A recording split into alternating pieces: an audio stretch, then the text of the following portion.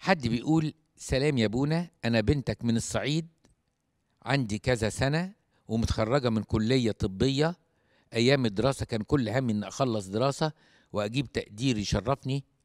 في آخر ترم بدأت أفكر في مصيري ما بعد الدراسة وكان كل اللي في دماغي نفسي أترهبن في حياة الدير أو حتى التكريس.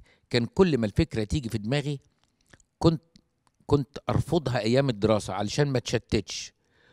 وكنت أقول أنا بعمل قانوني بالعافية. إزاي ممكن أكون في الدير؟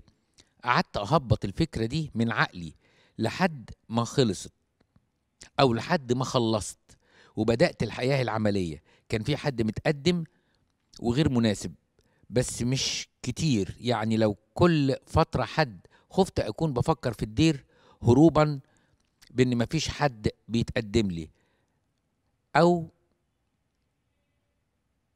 كل ما يجي حد البيت ألاقي نفسي بتوتر خالص وفكرة الدير تزيد في دماغي قوي.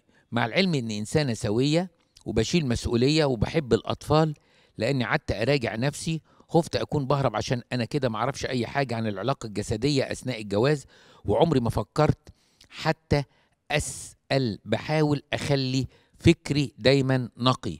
قعدت أتكلم مع مكرسة وقالت لي إن عواقب الرجوع عن الطريق ده بعد اختياره صعبة فبدأت أخاف وأتهز من جوايا. رحت الاب اعترافي وكان رده إني هنفع في الدير وهنفع في العالم. بس ليه ما فكرش في الجواز وأكون أسرة وآخد بإيد ناس تانية وأوصلهم للسماء؟ احترت جدا.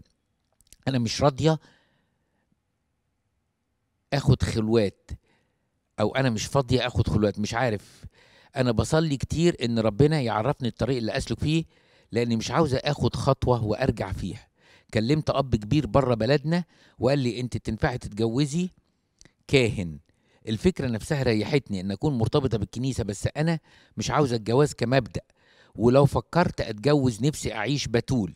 آه هنا بقى عندنا لخبطة. هي طبعا السؤال أكبر من كده بس أنا مش هكمله. بص يا بنتي هو في حاجة. نمرة واحد لازم تهدي خالص خالص عشان نسمع صوت ربنا.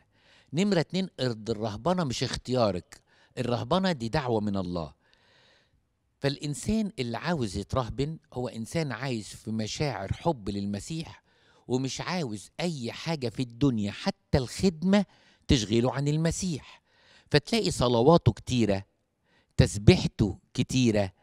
بيحب الأنشطة الروحية في الكنيسة قوي اللي فيها مجال للقاء المسيح والكلام معاه. علشان كده علشان كده. الرهبنة طول عمري بقول إن ليها علامات تسبق الدخول للدير لكن مش أنا واقف على باب الدير وأقول أخش بس أنا خايف لو خش معرفش أرجع.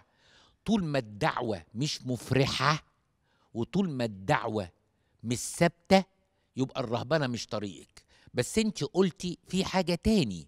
إيه الحاجة التاني؟ إنك أنت خايفة من العلاقة الجسدية اللي بعد الجواز. يبقى أنت محتاجة حد كبير يكون ذي خلفية روحية في المقام الأول أو خلفية روحية طبية أو أب كاهن كبير في السن يتكلم ببساطة مختبر الحياة. يبسط لك المواضيع دي لأن أنت ملخبطة أي حد يقرأ سؤالك. هل هي المشكلة في مسؤولية الجواز اللي أنت مش عايزاها؟ ولا هي المشكلة في العلاقة الجسدية اللي انت خايفة منها وقلبك بيتقفل؟ فانت لازم تكوني واضحة مع نفسك وتسمعي مشورة.